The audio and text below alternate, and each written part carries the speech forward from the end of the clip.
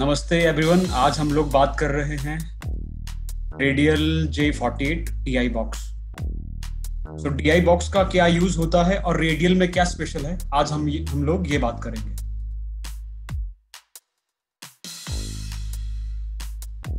Basically D I boxes का क्या use है? एक बार इस पर थोड़ा सा बात कर लेते हैं। डी बॉक्सेस का मेन यूज़ होता है impedance matching and unbalance signal को बैलेंस में कन्वर्ट करना। तो थोड़ा ये समझ लेते हैं कि कैसे करता है। तो अगर हम अपने इंस्ट्रूमेंट्स पे लाइक गिटार और कीज पे कनेक्ट करते हैं, ये बहुत हॉट सिग्नल होता है और हम पैड के थ्रू इसको सूटेबल बनाते हैं जो हमारा कॉन्सोल का माइक इनपुट्स को ले सके। और अनबैलेंस में जो आपने देखा होगा कि हमारे गिटार्स एंड कीज जो होते हैं उन पे जो केबल लगता है, उसमें पॉजिटिव अलग रहता है और नेगेटिव और शील्ड का कनेक्शन एक साथ होता है। एक्सएलआर या फोनो का कनेक्शन उस अनबैलेंस सिग्नल को अगर वो सीधा डायरेक्टली आपका कंसोल तक आएगा तो कहीं ना कहीं उसमें नॉइज़ ऐड हो जाएगा और कैंसिल आउट नहीं हो पाएगा। तो आप वहाँ से कनेक्ट करते हैं डीआई और डीआई से जो केबल निकलता है, वो निकलता है एक्सएलआर आउटपुट विथ जिसमें तीन कनेक्शन सेपरेट होते हैं पॉजिटिव नेगेटिव एंड शील्ड का। तो वहाँ पर आपका ये सिग्नल कैंसिल आउट हो जाता है। एक बेसिक यूज़ है डीआई बॉक्सेस का। अब आते हैं कि डीआई बॉक्सेस के टाइप्स कितने हैं। सो बेसिकली डीआई बॉक्सेस होते हैं दो टाइप के active and passive passive DI box में बैटरी का आ, कोई ज़रूरत नहीं होता और ना ही वहाँ पे फैंटम का ज़रूरत होता है। ये बेसिकली एक इम्पिडेंस मैचिंग का एक ट्रांसफॉर्मर है। आप अगर बेस इसको समझना चाहें। वही एक्टिव की अगर हम बात करें तो एक्टिव के लिए आपको बैटरी चाहिए होता है नाइन नाइन वोल्ट का बैटरी चाहिए होता है, या फिर फैंटम पावर से वो पावर्ड होता है, जो हमारा एक्सएलआर और जैक केबल के थ्रू एक बेसिक डिफरेंस है active and passive D I boxes का। अब हम लोग ये जे फोर्टी एट का बेसिक समझ लेते हैं कि जिसमें स्विचेस दिए हुए इनका क्या यूज़ है। तो सबसे पहले अगर आप यहाँ पे देख रहे हैं, ये फिफ्टीन डी पैड है। ये माइनस फिफ्टीन डी पैड है। जब हमारा इंस्ट्रूमेंट से बहुत हॉट सिग्नल जब आएगा तो एटलीस्ट हम माइनस फिफ्टीन डी यहाँ से कट डाउन कर सकते फोर्टी एट वोल्ट फैंटम है। और इस डी का सबसे बेहतर पार्ट ये है, सबसे बेस्ट पार्ट ये है कि इसके अंदर कोई बैटरी नहीं लगता है। आपका बैटरी का एक बचत हो रहा है। दूसरा बात कि जब बैटरी को हम लोग यूज़ करते हैं, जैसे ही बैटरी डाउन होनी शुरू होती है, कहीं ना कहीं नॉइज़ आना शुरू होता है। तो वो प्रॉब्लम यहाँ पे नहीं रहेगा, क्योंकि ये पूरा पावर्ड होगा आपका एक्सएलआर के थ्रू यानी कि कॉन्सोल से आप जो फैंटम देंगे, उससे ये पावर्ड होगा। और उसका सिंबल आपको ये एलईडी ब्लिंक कर जाएगा। दूसरा मर्ज का ऑप्शन है, ये बहुत कम डीआईज पे देखने को मिलता है। तो बेसिकली यहाँ पर क्या है ये इनपुट है आपका। तो बेसिकली ये लिंक होता क्या है कि आपका गिटार यहाँ पे कनेक्ट हुआ, या सपोज़ आई एम सॉरी कोई सा भी इंस्ट्रूमेंट यहाँ पे कनेक्ट हुआ। उसके बाद यहाँ से आप एक आउट देते हैं एम्पलीफायर के लिए, जो फोल्ड फोल्ड बैक होता है म्यूजिशियन के लिए, और ये आउट आपके कॉन्सोल पे चला जाता है। लेकिन इस मर्ज के थ्रू अगर आप इस मर्ज के थ्रू आप इन दोनों को एज एन इनपुट यूज़ कर सकते हैं। तो सपोज़ अगर आपके पास दो इनपुट है स्टीरियो आपके पास स्टीरियो इनपुट है और आपका आपको सिंगल मोनो आउटपुट निकालना है तो आप इसको मर्ज कर सकते हैं। दोनों इनपुट यहाँ पे पैच किया और सिंगल आउट यहाँ से आपका कॉन्सोल पे चला। दूसरा ऑप्शन है यहाँ पर पोलैरिटी का। तो पोलैरिटी हम सबको पता है कि पोलैरिटी फ़ेज़ चेंज करना पॉजिटिव को नेगेटिव और नेगेटिव को पॉजिटिव करना, यहाँ पर इसका क्या यूज़ है? तो यहाँ पर बहुत बार हम लोग क्या करते हैं कि यहाँ से हमारा इंस्ट्रूमेंट कनेक्ट हुआ और ये एम्प को चला गया। और उसके साथ बहुत लोग एम्प पे माइकिंग भी करते हैं।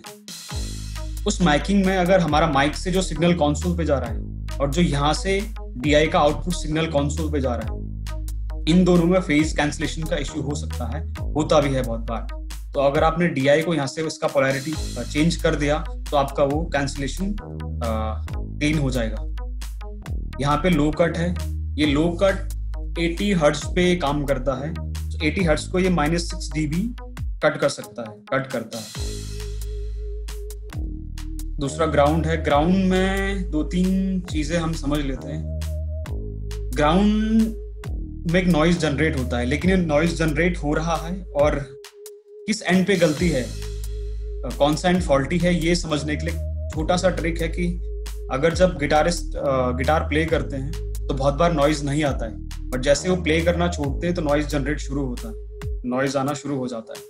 तो उसका ये मतलब है कि कहीं ना कहीं गिटार का अर्थिंग का फॉल्ट है। और जैसे ही वो अपने स्ट्रिंग्स पे हाथ लगाते हैं, वो नॉइज़ चला जाता है। और वो हाथ हटाते हैं, फिर से नॉइज़ आना शुरू हो जाता है। पहला चीज़ ये है, इसका मतलब कि गिटार फॉल्टी है। और अगर यहाँ पर इस एंड पे अगर गलती नहीं है, इसका मतलब है कि मिक्सर में कहीं ग्राउंड का प्रॉब्लम है या फिर केबल फॉल्टी है। उस केस में हम ये स्विच ग्राउंड लिफ्ट स्विच को यूज़ कर सकते हैं और वो यहाँ से कैंसिल आउट कर देगा। अब रेडियल में क्या अलग है, क्या स्पेशल है, ये समझ लेते हैं एक बार। तो इसका जो सबसे मेन जो चीज़ होती है, वो हमको चाहिए होता है रेंटल के लिए कि रफ एंड टफ जो एक बार गिर गया या ट्रांसपोर्टेशन में अगर कुछ प्रॉब्लम हो भी गया तो उसका बॉडी सेफ़ रहे, वो सेफ़ रहे। उसके सबसे अच्छा बात यह है D I radial D I में कि J forty eight welded I beam से बना है। Welded I beam aluminium construction का एक स्टैंडर्ड है जिसके अकॉर्डिंग ये बहुत ही रफ एंड टफ है। ये मिलिट्री ग्रेड अप्रूव्ड है। मिलिट्री ग्रेड यूएस मिलिट्री ने एक स्टैंडर्ड निकाला था इक्विपमेंट का ड्यूरेबिलिटी और उनका स्ट्रेंथ चेक करने के लिए। तो ये मिलिट्री ग्रेड प्रोडक्ट है। इसका मतलब ये है कि ये यूएस मिलिट्री ग्रेड के स्टैंडर्ड्स पे खरा उतरता है। इसकी जो सबसे इंपॉर्टेंट बात मैंने आपको पहले भी बताई थी कि जे फोर्टी एट में नाइन वोल्ट का बैटरी नहीं लगता। ये डायरेक्टली आपके कॉन्सोल से पावर्ड अप होता है। और इसका सबसे बड़ा फ़ायदा ये है कि नॉइज़ का इशू क्रैकल का इशू आपको नहीं मिलता है। बिकॉज़ जो बैटरी वाले डीआई होते हैं, जैसे ही बैटरी डाउन होना शुरू होता है तो नॉइज़ आना शुरू होता है। तो यहाँ पर ये इश्यू नहीं मिलेगा। अगेन ये वही बात कह रहे हैं। 15 डीबी पैड जो हमने बात कर लिया है। और 48 वोल्ट फैंटम पावर जब आप 80 हर्ट्स का बटन प्रेस करते हैं। सपोज़ आप अकुस्टिक गिटार पे आपको बहुत लो एंड डिस्टर्ब कर रहा है आप 80 हर्ट्स को करते हैं। माइनस सिक्स की भी के लिए आप इसको प्रेस करते हैं। आपको फोर्टी एट का भी ब्लिंक वहाँ पे हो जाएगा। एक ये ये भी सिंबल है, आपको ये पता लग जाएगा कि आपका वहाँ से फैंटम ऑन है। मर्ज फ़ंक्शन मैंने आपको बताया था कि इनपुट और थ्रू आउट यानी इनपुट और जो लिंक होता है एम्प के लिए, उसको आप मर्ज करके स्टीरियो इनपुट बना सकते हैं। और एक ये हैवी ड्यूटी बेक्ड एनएमएल से बना हुआ है। ये पेंट का क्वालिटी होता है। और ये पेंट बहुत आसानी से निकलता नहीं है। तो बहुत बार आपने देखा होगा कि रेंटल कंपनीज़ में जो डी या कोई भी इक्विपमेंट्स होते हैं, उनका प्रिंट निकल जाता है और ऐसा लगता है कि बहुत पुराना है। इसमें ये इशू भी नहीं रहेगा। ये काफ़ी टाइम तक एकदम न्यू जैसा लगेगा। और इसका जो एक्सएलआर आउटपुट है वो 600 ओम बैलेंस्ड एक्सएलआर आउटपुट है। और इसका आउटपुट को आप ऑलमोस्ट 300 मीटर तक सेंड कर सकते हैं एक्सएलआर केबल को। और उसमें नॉइस का इशू मिनिमम रहेगा। आई थिंक ना के बराबर रहेगा।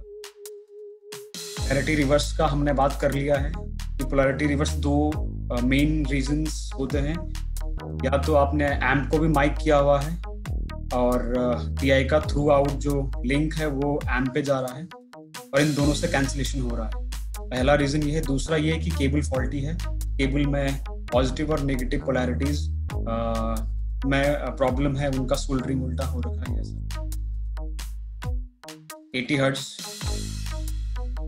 high pass filter ground lift का हमने बात कर लिया कि अगर इंस्ट्रूमेंट में ग्राउंड का प्रॉब्लम है या फिर कॉन्सोल की साइड से प्रॉब्लम है तो हम यहाँ से इसको सॉर्ट आउट कर सकते हैं। पैचिंग देख लेते हैं कि कैसे ये पैचिंग होता है। तो आप देख रहे हैं कि ये इंस्ट्रूमेंट है, इसका इनपुट आया। यहाँ से एक लिंक या थ्रू आउट जो है, वो एम्प पे गया। बहुत बार इसी एम्प पे एक माइक भी लगा देते हैं। उस केस में आपको पोलैरिटी का ज़रूरत हो सकता है। इस कैंसिलेशन को नासिक आउटपुट जाता है आपके कॉन्सोल